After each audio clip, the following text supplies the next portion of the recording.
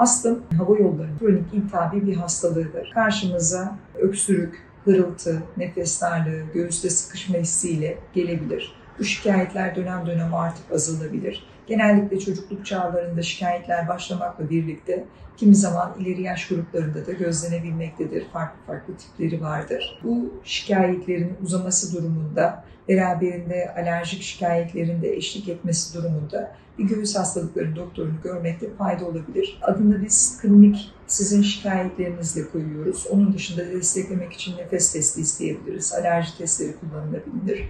Bunun sonrasındaysa özellikle buna sebep olan alerjenlerden uzak durmak, iritanlardan uzak durmak yardımcı olabilir. Onun dışında da nefes ilaçları, alerji hapları bu konuda kullanabileceğimiz tedavi yöntemleri olacaktır.